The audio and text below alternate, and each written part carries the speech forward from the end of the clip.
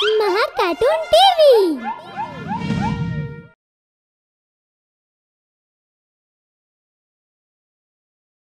Bloody Mary রাত্রের সময় ছিল, আর কয়েকটা বাচ্চা একটা জঙ্গলে বনফায়ারের সামনে বসেছিল। প্রায় বনফায়ারে ভূতের গল্প শোনা যায়। তাই শিবম নামের একটা ছেলে ভূতের গল্প শোনায়। ওই গল্পটা ছিল ব্লাডি ম্যারিকে নিয়ে। যেটা শোনার পর সেখানকার একজন ছেলে জিজ্ঞেস করল, শিবম সত্যিই কি ব্লাডি ম্যারি হয়? আর না হলে কি? এটা একটা সত্যি ঘটনা। তুই কি করে জানলি? আমি বইতে এই ব্যাপারে পড়েছি। কথায় বলা হয়, যদি ব্লাডি ম্যারিকে দেখতে চাও, তাহলে তোমাকে রাত তিনটের সময় কয়েকটা মোমবাতি জ্বালিয়ে আয়নার সামনে দাঁড়াতে হবে। আর তিনবার ব্লাডি ম্যারি বলতে হবে। তাহলেও তোমাকে দেখা দেবে। আর এটাও বলা হয় যে যে কেউ এই চ্যালেঞ্জটা ট্রাই করে ওকে ব্লাডি ম্যারি মেরে ফেলে। সব বাচ্চারা শিবমের কথা শুনে ভয় পেয়ে যায়। তখনই ওদের মধ্যে একটি মেয়ে শিনা বলে ও প্লিজ আমি এসব জিনিসে বিশ্বাস করি না। ঠিক আছে বিশ্বাস করো না। আমার কাছে কারোর বিশ্বাস করা বা না করাতে কোনো পার্থক্য নেই। যে কথা সত্যি তাকে কেউ মিথ্যে করতে পারবে না। হে গাইস আমার মনে হয় আমাদের এখান থেকে যাওয়া উচিত। শিনা আর বাকি বাচ্চারা ওখান থেকে চলে গেল। চল শিবম, দেরি হয়ে যাচ্ছে। লেট হয়ে গেলে মা বাবা খুব বকবে। এই সিনা নিজেকে ভাবেটা কি? জানি না সব সময় নিজেকে সঠিক কেন প্রমাণ করতে চায়। ছাড় না বাবা, বলতে দে। তুই আমাকে একটা কথা বল। হ্যাঁ কি? তুই কি কখনো ব্লাডি মারি চ্যালেঞ্জ ট্রাই করেছিস? না, কিন্তু ট্রাই করতে অবশ্যই চাই। আচ্ছা চল, এখনই যাই। এরপর দুজনে কথা বলতে বলতে নিজের নিজের বাড়ি পৌঁছে গেল। কিন্তু সারা রাস্তা শ্যাম মনে মনে ওই ব্লাডি ম্যারির গল্পটা ভাবছিল। সেই রাতে শ্যামের ঘুম আসছিল না। ও বারবার ব্লাডি ম্যারির কথাই ভাবছিল। আর চিন্তা করতে করতে ওর চোখ দুটো পুরো লাল হয়ে গেছিল। কি হলো? শ্যামের ঘুম ভেঙে গেছিল। আরও উঠে ওয়াশরুমে চলে গেল। যখন ও হাত ধুচ্ছিল, তখন ও ভাবল, কেননা আমিও ওই ব্লাডি ম্যারি চ্যালেঞ্জটা ট্রাই করি, তারপর আমি শিবমকে বলব। আর এটাও বুঝে যাব যে ব্লাডি ম্যারি আসল না নকল। কিছু না কিছু বলেছিল এই চ্যালেঞ্জে মোমবাতিও জ্বালাতে হয়। আরে ইয়ার, এখন আবার মোমবাতি কোথার থেকে আনব? শ্যাম তার ঘরে মোমবাতি খুঁজতে লাগল। কিন্তু অনেক খোঁজার পরেও ও কোথাও মোমবাতি পেল না। কিন্তু যখন ও আলমারি খুলল, দেখল এক কোনায় মোমবাতি রয়েছে। থ্যাংক গড মোমবাতি পেয়ে গেছি। আর এটা কি? তিনটে বেজে গেছে। আমি তো সঠিক সময়ে চ্যালেঞ্জ ট্রাই করতে পারব। ও আবার বাথরুমে ঢুকলো আর মোমবাতি জ্বালিয়ে আয়নার সামনে দাঁড়িয়ে বলল bloody Mary bloody Mary bloody Mary তিনবার ব্লাডি ম্যারি বলা সত্ত্বেও শ্যামের কিছু অন্য রকম মনে হলো না। আর কোনো ব্লাডি ম্যারিও দেখতে পেল না। মনে হয় সিনা ঠিকই বলেছিল। সব বানানো কথা। ব্লাডি ম্যারি বলে কিছুই হয় না। আর কালই আমি শিবমকে সব সত্যিটা বলে দেব।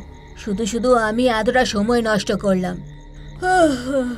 যাই এবার শুয়ে পড়ি। শ্যাম ঘুমোতে চলে গেল।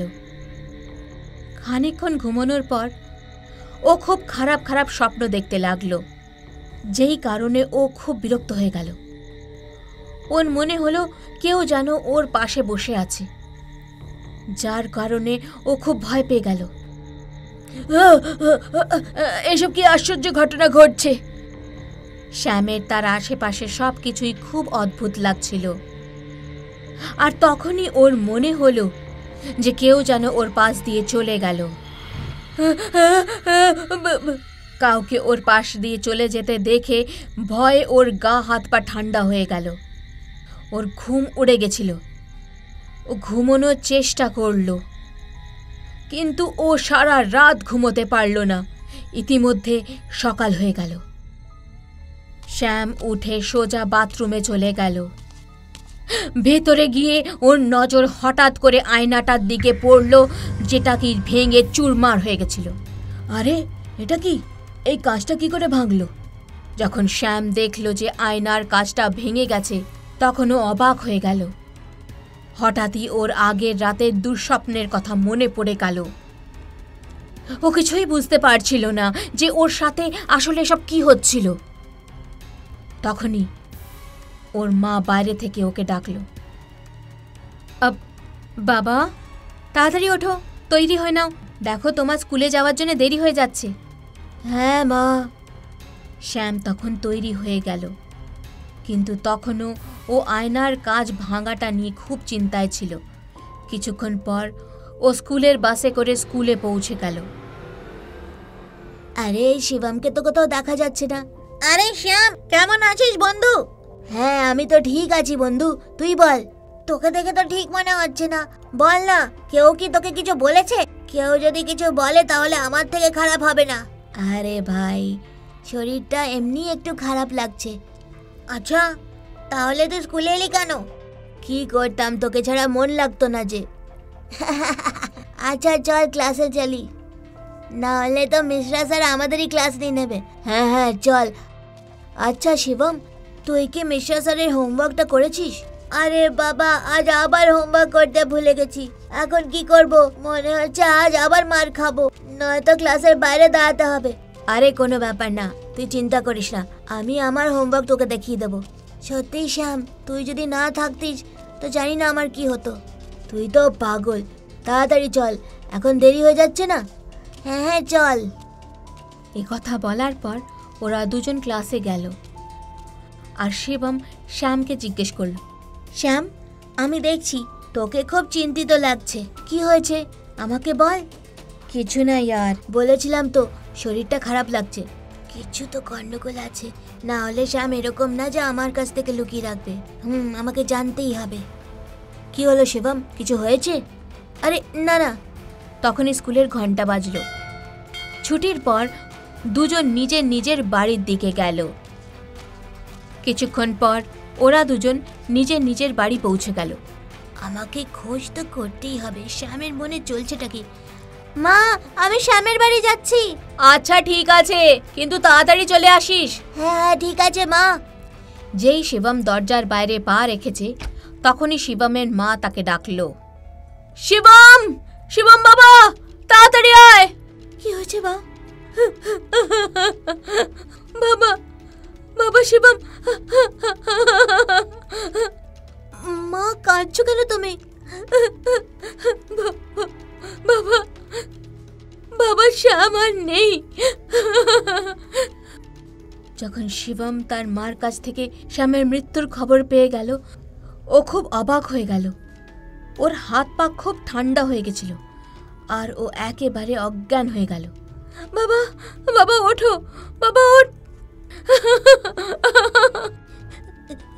মা, তুমি মিথ্যে বলছো, তাই না? শ্যামের কিছু হয়নি, তাই না? না বাবা, এরকম একদমই না। শ্যাম শ্যাম আর এই পৃথিবীতে নেই। সকালে তো ঠিক ছিল। হঠাৎ কি হয়ে গেল ওর? আমি মানব না। আমি শ্যামের বাড়ি যাচ্ছি। বাবা, দাঁড়া, আমিও যাব। যখন শিবম আর ওর মা শ্যামের বাড়িতে পৌঁছলো, তখন শিবম দেখল শ্যামের মা খুব জোরে জোরে কাঁদছে। আর ও যেই আরেকটু এগোলো, তখন ও দেখল যে শ্যামের দেহটা মেঝেতে শোয়ানো আছে। ও শ্যামের দেহটা ধরে জোরে জোরে কাঁদতে লাগল।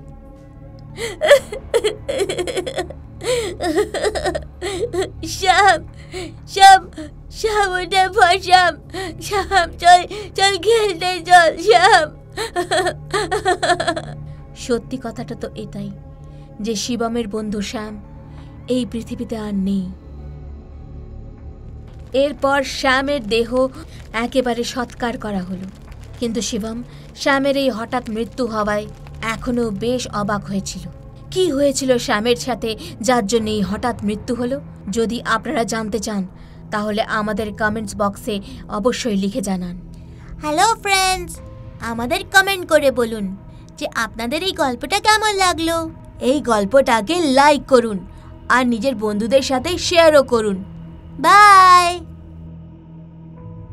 যদি আমাদের ভিডিওটি আপনার ভালো লেগে থাকে তাহলে এটিকে লাইক করুন চ্যানেল সাবস্ক্রাইব করুন। এবং আমাদের কার্টুন শোজ সবার প্রথমে দেখার জন্য বেল আইকন প্রেস করতে ভুলবেন না।